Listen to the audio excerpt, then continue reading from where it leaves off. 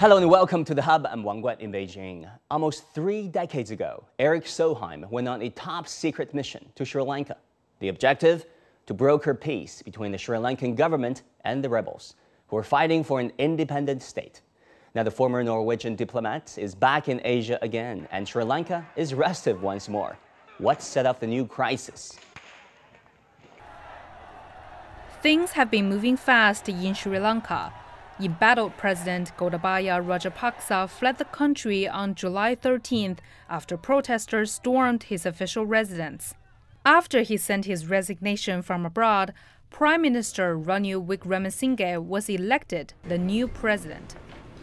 The economy of the country today is in a very difficult place. Young men and women are asking for change in the system. To go forward, we need to come up with a new program. Can the new president restore stability? The 73 year old is a six time former prime minister. Over a long political career, he's gained a reputation for being economically capable, steering Sri Lanka out of a recession in 2001. Now, my guest today is none other than Erik Solheim, former UN Undersecretary General and Chief of UN Environment, as well as Norway's former Minister of International Development and Environment. Currently, he's president of the Green Belt and Road Institute, a nonprofit in Beijing. Mr. Solheim, you're a man who wears many hats beside the environment and climate. You have also successfully worked in the area very far removed from climate, that is war and peace. You brokered the ceasefire in 2002, I believe. Uh, then it was, uh, you know, broken, of course, and finally the army extinguished the rebellion in 2009. Again, we're talking about uh, Sri Lanka, and Sri Lanka started a new chapter. Uh, so, what was your reaction when you heard that a fresh crisis uh, has been erupted in Sri Lanka, a, a, country that you have visited and that's very dear to your heart, I suppose? I felt, of course, very, very sad because there is so much suffering for the people of Sri Lanka. The rickshaw drivers who are lining up for days just to get a little petrol to run the rickshaw for, for a day. Uh, all the people in the tourist industry being led off, or people struggling to, just to get the, the ba basic goods in, in, in, the shops and to get the life forward. So this is an enormous crisis for the people of Sri Lanka. And of course it comes, as you say, after many, many years of, of civil war. I believe that there were, were lost opportunities during that war in 2002, we had the opportunity to make a federal state in Sri Lanka, which would have been acceptable to all communities. Fortunately, that opportunity was lost after the huge military victory of the government of Sri Lanka in 2009. Again, there was another lost opportunity. They didn't reach out to the Tamils to create a land acceptable to both Sinhalese uh, and Tamils. They were very effective in war, but it was not magnanimous in, in peace. Now there is a, a revolution in Sri Lanka, there is a new opportunity, and let's hope that this deep, deep crisis in Sri Lanka can be turned into something positive uh, for the future. But this strikes many as an endless cycle, isn't it? When the Tamil Tigers were defeated, the president was uh, Mahinda Rajapaksa, and this time around, deposed president is his brother. What went wrong? I mean, why did the brothers somehow win the civil war and yet lose the socioeconomic battle, if you will? I think there are three main reasons for these crises. I mean, you're absolutely right. The Rajapaksa brothers uh, were enormously popular among the Sinhalese part of the population after winning the war, establishing peace uh, in Sri Lanka. And as late as in 2019, Gotabaya Rajapaksa was elected president with an overwhelming majority, a huge victory uh, in Sri Lanka. Three things went wrong. Uh, number one, uh, they created a family dynasty where four brothers dominated everything in Sri Lanka. They did not have any kind of proper economic policies. They spent huge uh, public resources while at the same time lowering taxes, which of course is a recipe for disaster. Secondly, uh, um, Sri Lanka was very unlucky. The COVID crisis hit Sri Lanka harder than nearly any other place because of the tourist-dominated economy, because tourists didn't come during COVID, and it was a huge catastrophe for, for national budget. Added Uh, they have many migrants to the Middle East, which of course also sent less money back home through, through COVID. And thirdly, the fact that the Tamil crisis in Sri Lanka is not resolved made the, the defense budget in Sri Lanka enormous and a very, very oversized military for such a small developing country because dragged resources which should more helpfully been used in education or health or road construction. Now, what do you think will happen to Sri Lanka? Can the president somehow address the root causes uh, facing the Sri Lankan society? I mean, to address it fast enough, really, when it comes to fuel crisis, uh, food scarcity, inequality, and like you rightly mentioned, um, high prices and COVID, among other things. Yeah, I mean, in the midst of the revolution, it's very, very hard to predict the, the, the, future, but let me give it a try. Sometimes into the future, maybe later this year or next year, there will be elections of a new president or a new prime minister. The, the best possible future for Sri Lanka is reaching out to the leader of the Tamils, Mr. Sumanthiran, and they can form some kind of joint uh, government in Sri Lanka for the first time in modern times, bridging the gap between the Sinhalese, the Muslims, and the Tamils into one uh, broad government for Sri Lanka. There will be hardships for sure. There is no easy way out of the crisis. Sri Lankans need to work hard and they need to pay taxes. Uh, there's no shortcuts. Uh, but if they get a broad government and, and work hard and set the right policies, I'm confident that the future will be much brighter in a few years' time. You know, the Sri Lankan crisis seems an opportunity also for China critics to play the blame game again on China. Uh, there are allegations that Sri Lanka's debts to China caused the crisis this time around. But according to Sri Lanka's official data, uh, China accounts for only 10% of Sri Lanka's 35 billion US dollar debt, uh, the same as Japan, by the way, and market borrowings take up the lion's share, about 47%, uh, not China. Um, how did this perception war, if you will, against China arise? I mean, how do you feel about this uh, accusation or you know, gap of perception against China? Very frankly, this is complete, complete nonsense. Uh, China cannot be blamed for the crisis in Sri Lanka, nor, by the way, Japan or the West or India or anyone else. This is a crisis which originates from unluck from the COVID crisis and from poor management by the government of Sri Lanka itself. Chinese uh, or the or Sri Lankan debt to China is 10% of the overall debt. So obviously China is not to be blamed. This is pure and simple anti-Chinese propaganda from some sources, and it needs to be refuted. The future of Sri Lanka is, of course, very much with India, because India is the big neighbor, and in India is the kind of the family. It's the same language, the same food, the same uh, uh, same religions. Uh, Sri Lankans look exactly like Indians. But adding to this close relationship to India, Sri Lanka will benefit tremendously from Chinese investments in roads or ports or railroads or in different way, ways, but of course also from investments from Japan or from, from the West.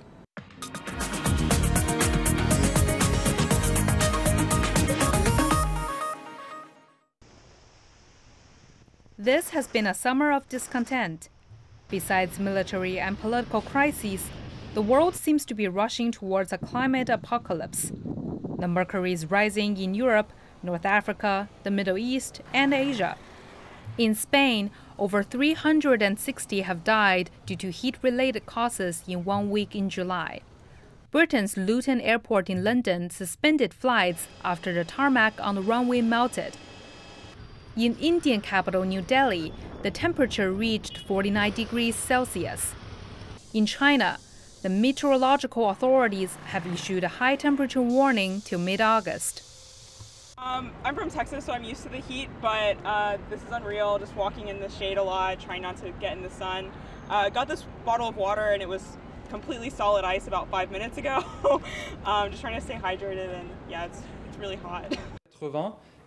Compared to the 1970s and the 1980s, heat waves were rare, meaning once every 10 years. Now, since the 2010s, we have a recurrence of heat waves and an acceleration that is undeniable. We have almost one to three heat waves per year.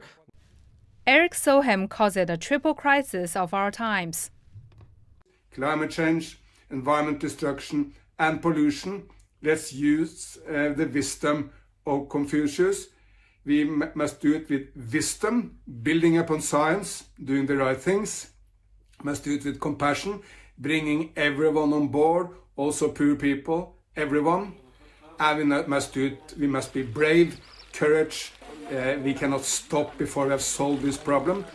Let's talk about the issue of climate. Two years ago, you said at the World Economic Forum that you're confident we can heal the earth again. Yet, we're looking at the hottest summer, uh, not just here uh, in parts of Asia, but across the world. How confident are you now that we can still survive this global warming? I'm still very confident that we can survive global warming because we have solved major environment issues in the past. Look, 30 years back, um, the hole in the ozone layer, uh, acid rain were the main environment topics of the day. No one was talking about them any longer because the issues are resolved. Uh, the hole in the ozone layer is coming back there is no acid rain in most parts of the world. Uh, and look to China. When China uh, established the People's Republic in 1949, life expectancy in China was about 30 years, uh, 30 years, maybe a little bit more than 30 years now. Now it's 78. Soon it will pass 80. Look to this enormous progress of development in China and many other parts of the world. Of course, when we could do these miracles in the past, we can also solve the problem of climate change, even if it's a huge challenge for humanity. But like you said, uh, different countries are at different levels of devel development. Uh, you know, some are phasing out uh, fossil fuels, some are barely adopting uh, digital technology, green technologies. Um, how do you see the world in coordinating their actions when it comes to climate change and uh, emission reduction ambitions? Absolutely, we need to work together as one big family because climate change is an enormous challenge to everyone, to the developed and the developing countries alike. But the good news is that now we have all the win-win policies. There's not a choice between development and environment.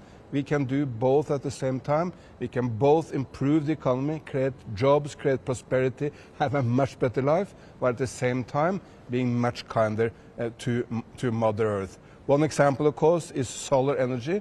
When we make the switch from coal to solar, not just it's good for the environment, it's also good for the economy. And you're creating more jobs and you save money because solar energy is cheaper and better uh, uh than coal. When people prioritize the environment, uh, the perception is they're prioritizing the environment over their jobs, their, their industries. The outcomes can be unexpected. I mean, if you look at the farmers' protests in Denmark, for example, uh, they're protesting against the environment's plans, the government's plans to cut down on nitrogen oxide uh, and other emissions. Uh, this will mean reducing the use of fertilizers, which will hit their livelihoods and their bottom line. How would you balance people's livelihood with environmental priorities? A green movement needs to be a people's movement. It needs to put people first and people's interest first. But of course, we have a new development model now. The old model, the 20th century, was first you prioritize economic development, create jobs, and create an enormous pollution on the way. But now in the 21st century, it's no such choice to be made between development and environment because we can do both at the same time, move very, very fast to protect the planet, while at the same time create jobs and prosperity. And China, of course, is a key example of, of, that. In the last 10 years, China has done fantastically much better on the environment, reduced pollution in all the big cities, cleaned up many of the rivers, uh, planting trees at a, at a large scale. All this is good for the Chinese economy, while at the same time it's good for the planet. China now produces 80% of all the solar panels in the world. It's the dominant wind power uh, um, na nation. It produced 80% of all hydropower last year, and China has 70% of all the battery, electric battery production, production in, the, in the world. All this is good for the Chinese economy, but at the same time, fantastic news for humanity. Talk about China's dual carbon goals, that is carbon peaking and net zero. Uh, how do you see that coming? And perhaps more importantly, what would you see as the biggest challenges along the way? The biggest challenge is the change in mindset from seeing environment as a cost and as a problem into seeing it as an enormous opportunity for economic development, job creation, and prosperity. And China is doing this, and but it's not just China. India, the, the other big developing countries, is doing exactly the same. Prime Minister Modi of India has put up a green hydrogen mission for, uh, for India. He is uh, moving into solar energy very, very fast. India is the first all-solar rail uh, station the first all-solar airport in the world. And again, all these are creating jobs for Indians, while at the same time, uh, it's very good news uh, for, for the planet. And very soon, India will be the second biggest solar nation in the world, next to China.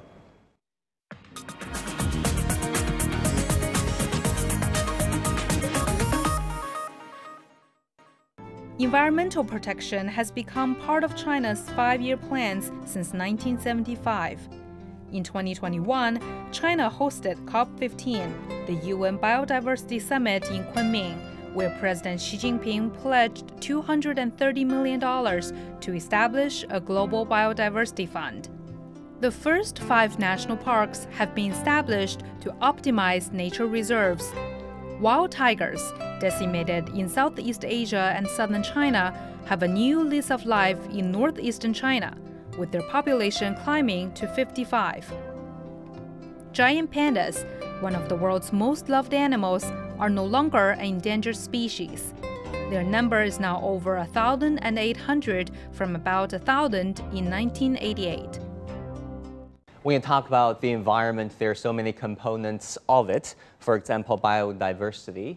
Uh, that is a, a, thing that is very much associated with our lives. Um, China is very committed to this issue. Last year, there was a major declaration on biodiversity in southern China. Um, how would you rate the efforts of the biodiversity here in China?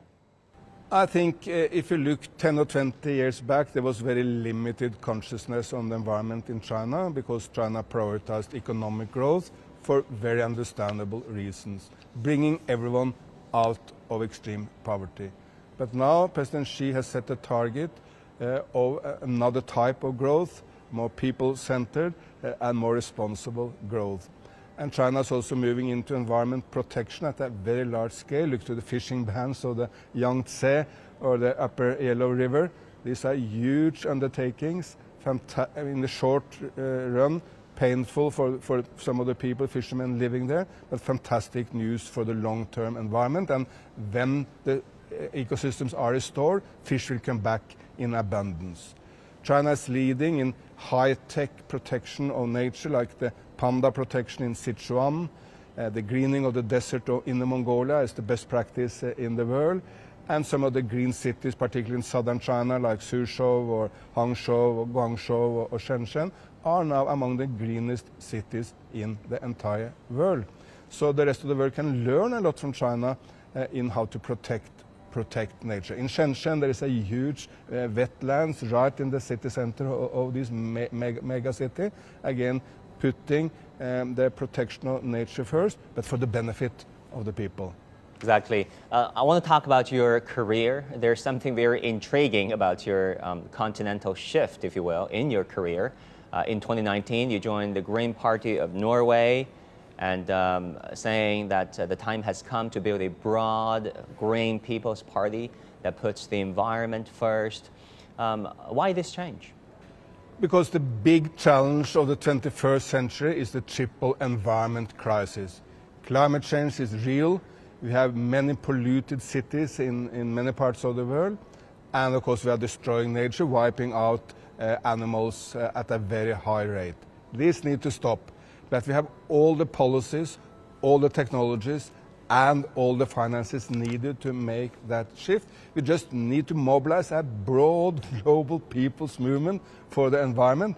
Uh, uh, and it, it needs to put people first because people are causing the environment problems, but also people are set to benefit uh, from the solution to the environment problems. You know, when I talk about your, uh, the continental shift in your career, I also mean it uh, literally. From Norway, now you're working very closely with China. Um, what has brought you back to this part of the world? Mainly because I believe that the 21st century is the Asian century. the 19th century may have been the European century and the 20th the American.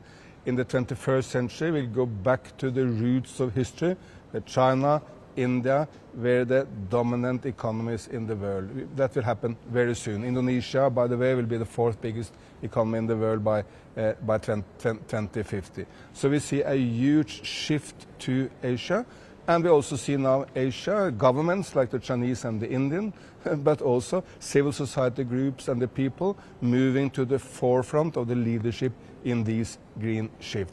No one should blame Asia for the environment crisis. US emissions per capita are 25 times Indians up to this point, eight times Chinese up to, in, uh, up to this point. So neither India nor China should be blamed for the climate crisis, but they can take the lead uh, in the shift. And I want to make my very, very small uh, contribution to help uh, making this shift happening. You know, you've been talking about a great green uh, Belt and Road project. How do you see that coming? There are many great, uh, great Belt and Road projects happening. Look to rail construction as an example. Uh, the Trans-Malaysia Railroad is now uh, moving fast forward. Last year, the uh, Vientiane Laos uh, to, um, to Yunnan Railroad was finished. In Africa, I myself many times taken the Nairobi Mombasa Railroad, there is the Ethiopia Djibouti Railroad, there is the railroad in Indonesia from Bandung uh, to, to Jakarta, or uh, there, is, there is the Hanoi uh, metro system. All these are constructed by China. So it's great for those nations, making mobility better, improving the economies of Laos or Malaysia or Indonesia. But of course, it's also fantastic news for the planet because moving from road to rail or to sea transport is much better for the environment. I think you're in a unique position to answer this question given your credentials in uh, the environment, uh, politics, uh, diplomacy. Sir, how would you envision a post-COVID world? What will it look like? The most important is to remember this old Indian saying, the whole world is one family if we can bridge the gaps in the world, particularly uh, make uh, China and the United States the two dominant powers of the 21st century, if we can work hand in hand, there's no limit to what we can achieve. We can resolve the economic crisis and bring every person in the world up into prosperity. We can solve the uh, environment crisis. And working together, it will also be much easier to solve the mil military crisis like in Ukraine or in Ethiopia or in Myanmar or in Yemen.